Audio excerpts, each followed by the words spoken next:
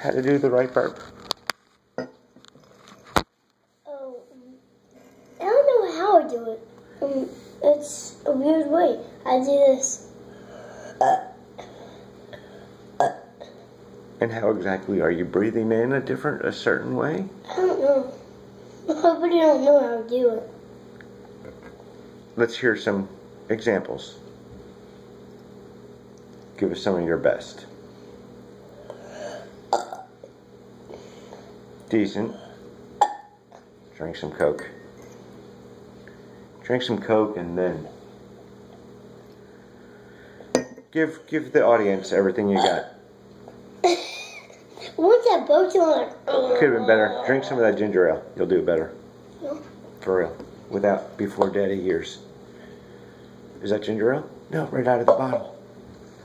Hurry up before daddy gets here.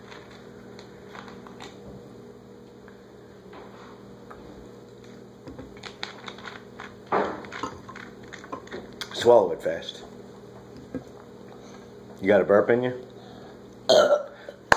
nice one. That's how you do it. That just went like. But once I, once um, that's Sprite, and that just went like this. Sprite's the Sprite's good burping. Root beer is the best for burping. Am I right? Or am I right? I don't know. Ginger ale is really good. What do you think No, is the best? Like when I was in Jackson's car, I my last burp it was just like it went for a minute. It was like bum bum bum bum bum. That's how long You it went. did. You went up the whole scale. No, it was just.